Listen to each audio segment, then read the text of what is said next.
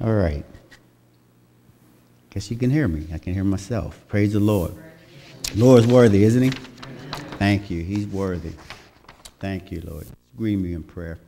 Dear Heavenly Father, we thank you for your word. We give you all praise and glory and honor for who you are, Lord. And we ask, Lord, that you will speak to our hearts tonight, Lord. Minister to our needs, Lord. Lord, make plain what you have us to hear tonight, Lord, in Jesus' name. We need to hear from you, Lord, no other voice, Lord. Speak, Lord, for those who are in need, Lord. Speak those, Lord, to those who are not here, Lord, who wanted to be here, Lord. Speak to those, Lord, who need a healing, who need a deliverance, Lord. Speak to those, Lord, who their mind isn't right tonight, Lord. And we ask you will give them a mind of Christ tonight, Lord, in Jesus' name. We thank you for your anointing. We ask your anointing will move tonight, Lord, for we know that the anointing does break the yokes. And we ask you to lead us and guide us in your spirit and your truth. Have your way tonight, Lord. In Jesus' name, amen. amen. Thank you, Lord. He's worthy, isn't he? Amen. He is worthy. Uh, I do, you know, I, there's a, uh, a young boy that we pray for. And uh, I had mentioned him to uh, the pastor. His name is Camden. And uh, he has leukemia. And uh, we pray for him. He's on our prayer list. And they were in a paper about like maybe uh, last week or a week before on a Sunday. And uh, he's uh, going through the process, leukemia process. And we pray for him. But I read in that article, uh, in an article, his mother said that one of his favorite words that he writes now is the word hope. He writes that everywhere. And now, Camden, going through this process, his mother understands the Lord. His father understands the Lord.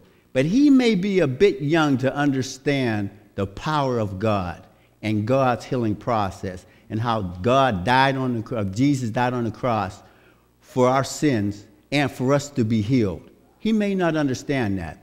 But you know what he's writing though? He's writing hope. And he doesn't even know the whole story. He may hear the story, but he might not understand the story. But guess what? We understand the story. Amen? So I'm saying that to whatever that we're going through, whatever it might be, right? Lean on that same thing that Camden's leaning on, is the hope. And that hope is Jesus Christ. Amen for his healing. So whatever we're going through, you know, lean on that hope because that's what we're going to talk about tonight. You know, whatever situation that we're in, whatever situation that we know of people being in, lean on that hope. I know that uh, in today's society where we have a lot of uh, uh, people going through situations, our government, other governments, and so what they try to do is for us to get out of these situations, they want to say anything but God. What they want to say is we'll handle it through a budget. We'll set up some kind of team to investigate and find out what we should do. Some people in our family members who's raising kids, they say, well, mom, dad, you know, what should we, how are we going to get out of this? You know what they do? They try to make it as though they are God.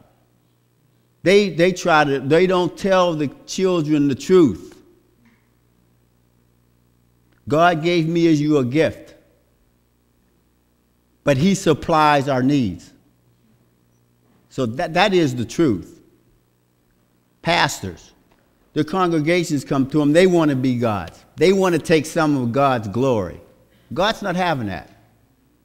God's not having that said that he will not share his glory with anyone. Amen? He's not sharing his glory with anyone.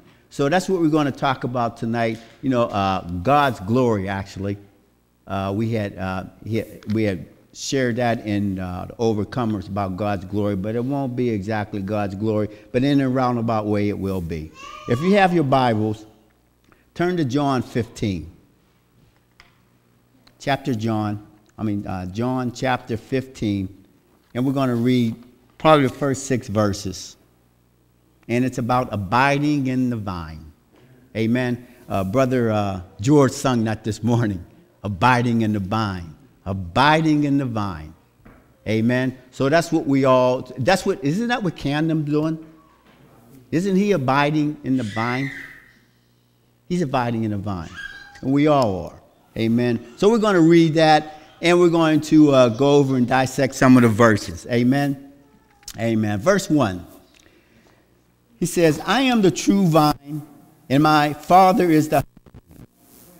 Every branch in me that bear fruit, he taketh away, and every branch that bear fruit, he purges it, that it may bring forth more fruit.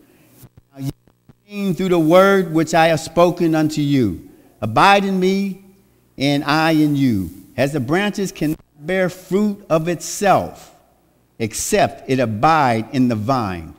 No more can ye, except ye abide in me. I am the vine, you are the branches. He that abideth in me, and I in him, the same bringeth forth much fruit. For without me, ye can't do nothing. If a man abideth not in me, he is cast as a branch and is withered. And men gather them and cast them into the fire, and they are burnt. Amen. I'm going to read these verses again, but I'm going to slow down. Because, see, when we read, I know I'm speaking for myself. When I read this here, I read it, you know, real quick, real quick. But let's just slow it down because there's something in here that I didn't see before. And it may be something in here that you didn't see. So we're going to go back through it and we're going to read it and we're going to dissect a few of these verses here and find out what exactly does he mean how we should abide in him that anything that is not of him will not prosper and it will die let me say that again because, see, the world don't understand that. If you tell the world that, you mean all the people that don't believe in Jesus Christ is going to die and wither? Right. Right. They think about that. I don't know how many billions of people there is in the world. Or in the United States, or in the world. I don't know if it's seven billion, I forget how many billion it is. That's a lot of people. There's a lot of people who are not abiding in the vine. Amen? A lot. Verse 1 I am the true vine, and the Father is the husbandman. Now, Jesus is the vine. But guess who waters that vine and takes care of that vine? God the Father Himself. God the Father Himself. You know what? Jesus everything in, in, in John 17, Jesus prayed to the Father. Everything that He did was for His Father. He did not sway or go to the left or to the right. He didn't do what he he how close he is to his father because they're one. He abided in the words and the things that his father told him to do. Verse 2 Every branch that beareth not fruit taketh away, and every branch that beareth fruit he purges it, that it may be brought forth more fruit. Now, when you read that, there, if, you, if you read that verse there, there is a separation that's taking place. He's separating here. He's separating. Branches that don't produce fruit are separated. They're taken away from branches that produces fruit.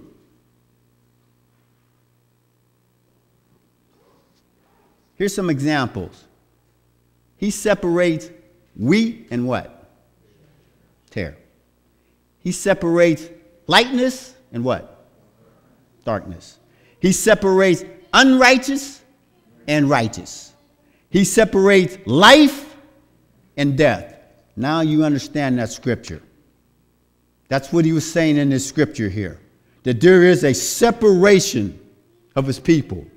He wanted the Israelites to be separate from the Gentiles and anybody else. He wanted them separate. Why? To be his own. To have that own identity of himself. We have to have our, our own identity of Jesus Christ. We have our own personal identity of who we are. But the bottom line is we are children of God.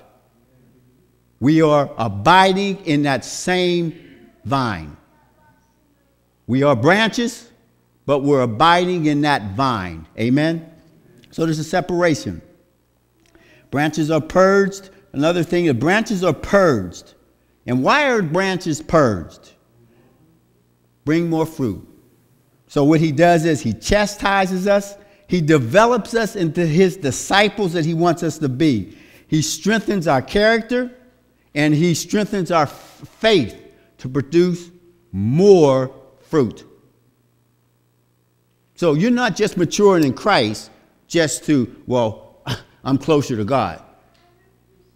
You are being matured in Christ to produce more fruit. We have to produce more and more fruit. Amen? Verse 3 Now ye are clean through the word which I have spoken unto you. We are sanctified every time Jesus speaks to us and if we abide in his word, we are being washed. Amen? A lot of folks wash dishes. I had some uh, uh, blackberries I was eating, and it was on a bowl. I had it in a bowl, and I was letting the water run over it. And I'm watching this water, it's just running and running and running. And guess what? As long as that water was running and running over that bowl, that bowl was being washed and cleaned them blackberry stains, they were coming clean. Amen. So if you are being washed, right, by the word of God, and you're letting that word wash you and wash you and wash you, you're being cleansed every time you hear the word of God, every time you preach or teach the word of God, we're being cleansed, we're being sanctified through his word. Amen. That's what it is. We're being clean. Right now, we're being washed, sanctified. Amen. Old things are being moved, taken away now. We're becoming more and more like Jesus. Amen. Verse 4. Abide, he says, Abide in me, and I in you. As the branches cannot bear fruit of itself, except it abide in the vine no more can ye abide in me. Branches need a source to produce fruit and to live. What branches? Who's the vine? Jesus. You cut ourselves from the vine, from that source of life, and you will wither. And not only will you wither, he said in his word, he's going to cut you off. You're not being produceful. You're not producing anything. Amen? You take a fish out of water. I like to use this. I always like to use this analogy. You take a fish out of water, which the water is the source. What's the fish going to do? It's going to die. You take a plant out of the soil, out of the ground. You take that away, the source of that plant is the ground. You take that away, it's going to die. This is the thing. If you take man away from God, man will die. Man will die. Amen? It'll die. And that, that, that, that, that, that, that fruit, that vine, that main vine, that's where we get our source. That's where it's life. These words that we're speaking, these words that you read, it is life. It's abiding in that vine. That's why we abide in the vine. That's why he wants us to rely on him and no one else and nothing else because there is nothing else that give life other than himself. Jesus Christ is the life giver. Amen. He is the life giver. And he doesn't want us to revert to anything else but him. Verse 5. I am the vine, you are the branches. He that abideth in me, and I in him, the same bringeth forth much fruit. For without me, Ye can't do nothing. So the things I was doing before I started abiding in the vine, it was useless. It was in vain. It meant nothing. Everything that we do, we must abide in the vine. Amen? Everything. Here's a scripture that's overlooked. This scripture is overlooked. How do you get in the vine? How do you get in the vine? What qualifies us to be in the vine or, or taking part in the vine? There's a scripture. Ye must be. Say it again. Ye must be. People take that scripture lightly. That is a very important scripture because if you're not born again, you're not into the vine. You cannot enter in, he said, the kingdom of God. That scripture is overlooked. It's overlooked. You have to tell people if you are not born again, you cannot reach the kingdom of God. You can't take a part of being in the vine. You can't receive the things of God. And people have to know that. They must be born again. He didn't say in there, I don't think it says you, you should be born again. I don't think that was an option. I don't think it was. I think he said you must be born again. Isn't that what he said? We must be born again. Amen? Amen. Abiding in the vine. What does that mean? Here's what it means No, first of all, this, this, this, this fruit that we're talking about. He says, I am the vine, you are the branches, you abide in me, and the same bringeth forth much fruit. Okay, the fruit we're supposed to bring. Now, now folks think, you know, the fruit. They think, you know, oh, we're going to bring in uh, souls or, or, or soul winning. They think that's it. They think that's it alone. That's part of it. Believe me, that's part of it. But in this chapter here, he talked about, he mentioned three things. In this chapter, 15, he mentions, he mentions prayer, he mentions joy, and he mentions love, and you continue to read that. And prayer, now let me tell you something about prayer. I'll tell you something about prayer. When somebody asks you to pray for them, when they ask you to pray for them, they want you to abide in the vine. They don't want you praying to somebody else. They want you to go before God for them and let their requests be known of the situation that they're in and they're going through. That's what that means. So that's, that's a fruit. That's a fruit. And you know what? If you ask people if there's something that I can pray for you for, and if they were honest, everybody you ask would give you a prayer request.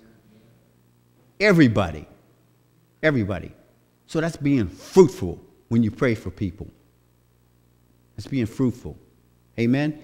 The other fruit that we're talking about is you look in uh, uh, Galatians 5:22. That's where the rest of the fruit is. Amen. That's where the rest where the rest of the fruit is. Amen. It's in Galatians. Verse 6. If a man abide not in me, he is cast forth as a branch and is what? Withered, and men gathered them and cast them into fire. And they are what? They're burnt. Now, abiding in Christ means this part of it believing that He is the Son of God. You got to believe that. Receiving Him as Lord and Savior. Doing what God says do. We're abiding in Him. And to continue to believe the gospel, even through tough and rough times in your life, continue to believe in the gospel. That's abiding in the vine. That's staying in God's vine. Amen? There's tough times everywhere. In everybody's life, there's going to be tough times going to be tough times. Heard somebody say, you know, the character of a person, of a man or a woman, is when they get knocked down, can they get back up? Or will they get back up? Because you can get back up, but will you? Will you, when the enemy comes against you and he thinks he has the upper hand, and he gets you to a point or state of your mind when you think that the enemy could be overcoming you, right? That's where he wants you to get, that state of mind like that there, you know. What kind of character do you have? Are you going to abide in the vine? Because that's what the Lord wants us to do. He says, because if you don't, you can't do nothing. Then the enemy will defeat you. We will be defeated. But as long as we're abiding in the vine, there's nothing too big in God. Amen? We will get victory. You will. He will keep you. He will keep you until he comes back or until we leave here. Amen? We will be kept. What do you mean we will be kept? What do you mean we'll be kept? That means your salvation will be kept. You will have life eternally with him. That's what that means. It doesn't mean that you're going to have a bunch of cars, houses, or whatever. You're going to have all this popularity. What that means is I'm going to keep you until you can be with me one day. And then you're going to reign with me forever. And you will not be thinking about this place, these houses and cars and stuff here. You'll be living in that mansion, amen, that He has for us. A place that He set aside for us, that He set aside for His people. Amen. That's what that means. Now, this leads me to a point, and I want to ask another question. Who in the Bible, Pastor, I don't want you to answer this. Who in who in the Bible that was a branch of God that got cast off and it withered? Let me say it again. Hold up. Don't, just think about it. Let's think about this now. Who in the Bible was a branch of God and got cast off and withered? Who? Judas. It's one.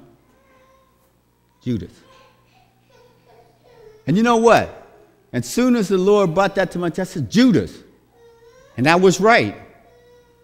I don't know, you know what? I can't, you know, I'm not even going to judge Judas. I'm not judging no one, but this particular person, I don't have to judge.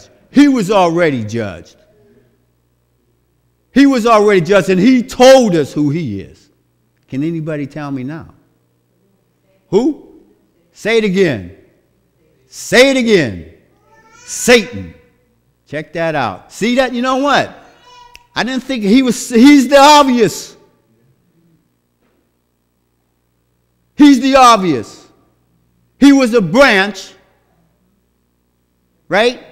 And got cast off, and he withered. And he withered. Hey, man, when I've got when he when he mentioned that, I'm saying, oh my goodness. Oh, yeah. He was a See what I mean about reading this again and just getting something? We read this over and over. I read this over and over. And I couldn't get it. I still didn't get this here. Satan. He had power. He created him. He was beautiful. But you know what he wanted, didn't want to do? He didn't want to abide in where? He didn't want to abide in the vine. Yeah. Yeah, we're going to read about him. I don't want to spend too much time about him because he ain't worth the time. But, but what we're going to do is want to expose him, though. I want to expose him. But yeah, it's Satan.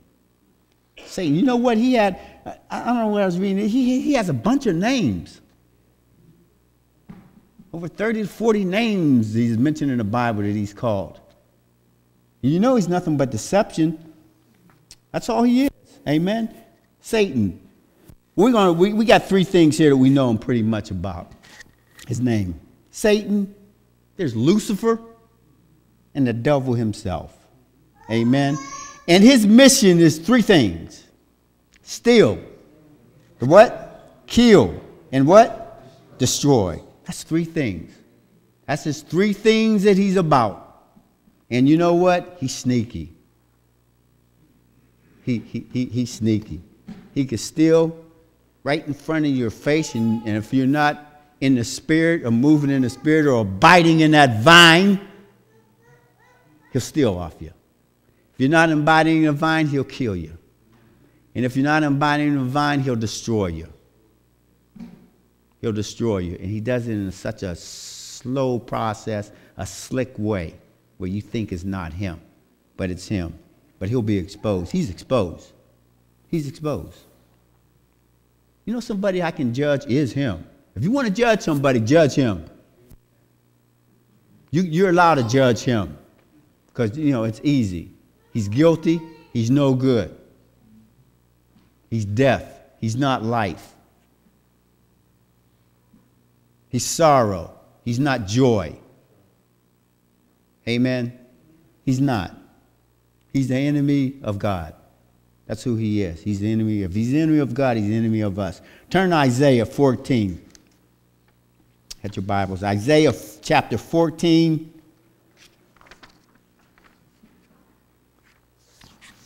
Uh, verses 12 to 15.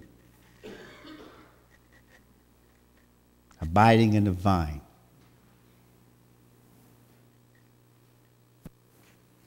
Amen. He says, How art thou fallen from heaven, O Lucifer, son of the morning? How art thou cut down to the ground, which didst weaken the nations? You know what? When I read that, I said, Weaken the nations. My goodness. The United States, weakened. We are weakened. We are weakened. Because there's a divided house will what? Divided house is going to fall. Divided house is going to fall. All the nations who don't believe that Jesus is the Son of God, that it's not abiding in the vine, or weakened. Or weakened. Who says that Jesus Christ is not the Son of God, who believes that and preach that and teach that, they are destined for hell. They're weakened. And he will weaken nations. The United States was built off of we believe in Jesus Christ, Son of God, and now we don't want to mention the Son of God. We want to don't hurt nobody's feelings. Somebody comes up to us, we don't want to tell them the truth to abide in the vine. We don't want to tell them that ye must be born again to enter into the kingdom of heaven. We refrain from doing that. Some of us in our families, we may not even do it to our own family members because we're afraid what they might say or how they will take it. They're weakened. Amen? They're weakened. For thou hast said in thy heart, I will ascend into heaven, and I will what? Exalt my throne above the stars of who? And I will sit upon the mount of the congregation in the sides of the north. I will ascend above the heights of the clouds. I will be like who? Most High. Yet, Isaiah tells him this Yet thou shalt be brought down to where? And to where? The sides of the pits. Sides of the pits. Sides of the pits. Satan wanted to be God. He didn't want to continue to abide in God. Satan had his own agenda. Some of us have our own agendas too. Amen. People in the world, they got their own agendas leaders, governments, they have their own agendas. When they go to meetings, they have an agenda that they want to follow. They have things that they want to get accomplished and talked about. They got things that they want to vote on. But guess what? God got his agenda. There ain't no voting. There's no voting. This is the agenda. This is the way things go. Amen? Amen. He wanted to be God. But what I want to do is go back to that verse again. Go back to verse 6 in John 15. Now, in this verse here, we know where he's gone, right? But Jesus is telling you, if you didn't read this verse before, let's read it now. Let's read it now. He says, If a man abide not in me, he is cast forth as a branch, and he is withered. And men gathered them and cast them into where? Where's the devil going? and he's going to be burned. He's telling you there. I seen that. I said, whoa, shoot, that's where he's going. He's going in the lake of fire." Amen. You know why he's going there? Because it's like those branches. The reason why those branches are being burnt because they're not abiding in who? The vine. Satan. We just read about it. He wasn't abiding in what? So, all those who don't abide in the vine will be cast away, cast out, they will wither, and they will be burned. Ooh, man, that's crazy. But you know what, though? That's the truth. Lucifer. Lucifer. Cast down here. He didn't go anywhere. He didn't go. You, you ever notice this? I, mean, I was talking with my wife, you know, about somebody who was acting a certain way who usually don't act like this. The person is out of character. The person that's good character, they acted fine. But this particular person here was around some other people. And so she, she started acting differently. You know why? Because Lucifer got kicked out of heaven. He's here on earth, and all those who believe with him are here. Now we have a mind, soul, and body we have now. And if we're not abiding in the vine, we're opening ourselves up, and those spirits is running around here. And if there's spirits running around here and you let them in your body, and you're going to start acting like them. Then you're going to start acting like them. If somebody's out of character, that's out of character, and I'm talking about out of character of God, you got to wonder where that person's been. Or who's that person letting into their spirits. You got to wonder. Amen? You got to wonder. Who's letting them, who, what are they doing? What are they doing?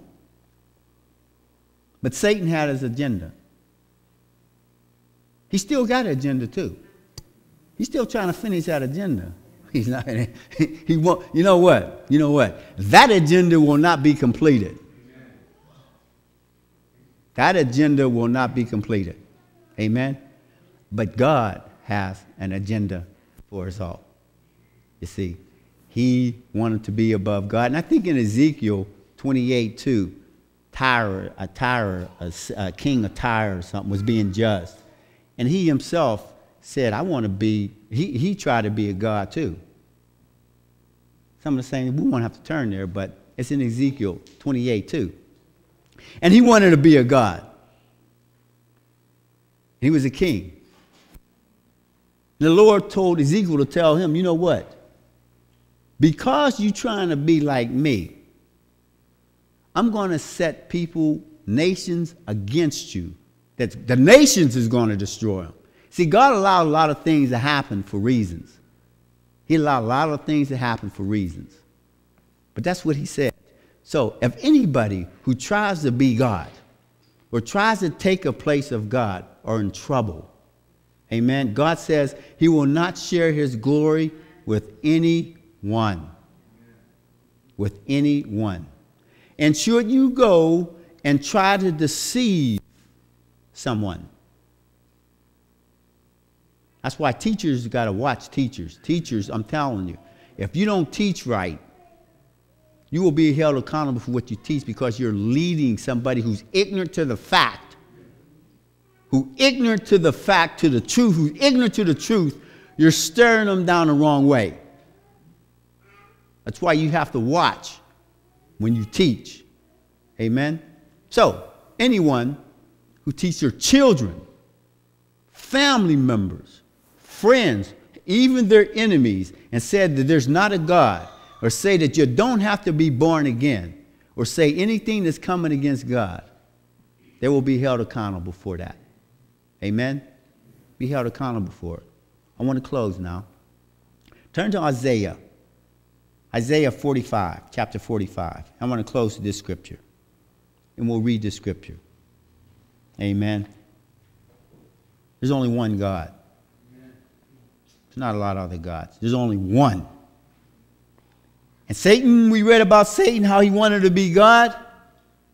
Well, this is God's agenda, and this is his answer to the devil. Lucifer,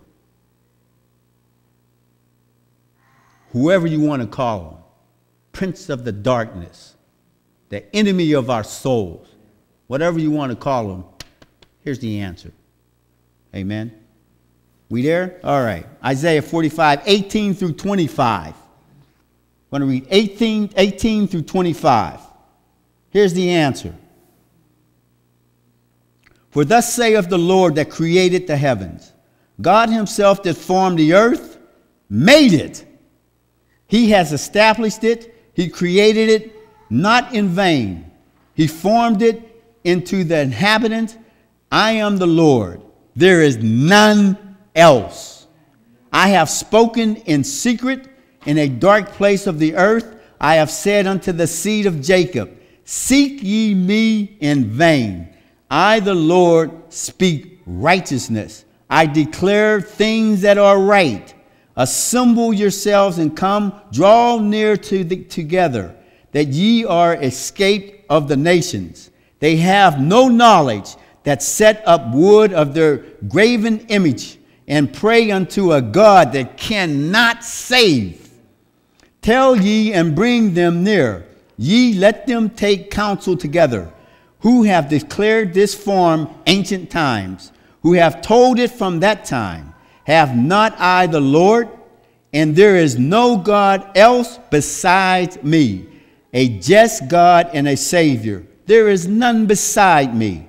Look unto me and be ye what? Saved. All the ends of the earth, for I am God, and there is none else. I have sworn by myself the word is gone out of my mouth in righteousness and shall not return. That every what? This is the, there's new New Testament to this. That every knee shall bow and every tongue shall swear. Surely shall one say, The Lord have I righteousness and strength, and even unto him shall men come, and all that are incensed against him shall be ashamed. In the Lord shall all the seeds of Israel be justified and shall glory. That is his answer to the devil. That is the answer that God gives to his people. There is no other God. Don't look for no other God. There's only, there's only one God. That's Jesus Christ, which is the Son of God. Amen. The Father, the Son, and the Holy Spirit. Amen. Amen. Praise the Lord.